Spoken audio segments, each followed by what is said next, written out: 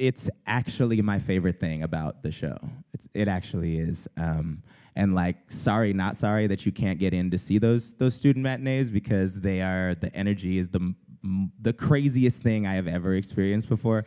And so we had our first one, and I was sick. I was sick as a dog. I was throwing up, and how I woke up vomiting, which is a weird thing. I don't know, you know, I had like woke up with a stomach virus, and um, called Tommy Kail, our director, and and said, "I don't think I can't I can't come today. I'm sorry."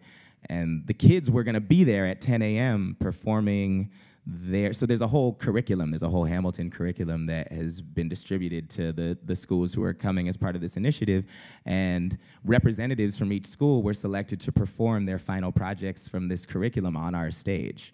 Um, and I wanted to be there so bad, and I was just sick and lying in bed, and I was like, well, I could either be sick here or sick watching these kids. So I got up, I called a Lyft, and I took my ass to the theater, and um, and I was so inspired by those kids that I did both shows that day, like actually walking off stage and vomiting in between, in between things, but after. Um, after seeing the sort of bravery and like the heart that those kids put into their performances and getting up on a Broadway stage as a high schooler in front of 1,300 other high schoolers, kids you don't know, can you imagine as a child?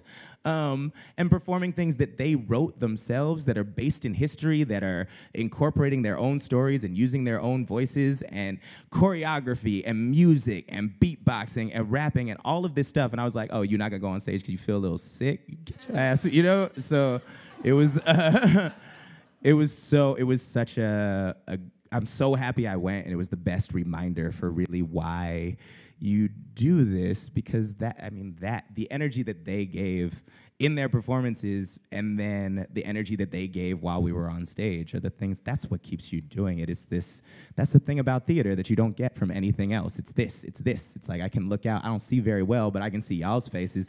And, and everybody else like i can see that you are human beings out there and i can feel i can feel your energy coming back to me. And that's that's why you do it. It's an energy exchange and it means something. It means something that you are here with all of the things that you had to go through today to get here, year, whatever that is, um, that means you know you had to register in advance to come here. That's that's a crazy thing that you did. You're uh, you know you had to plan to do this. You bring all of that with you, and those kids brought their whole lives with them onto that stage.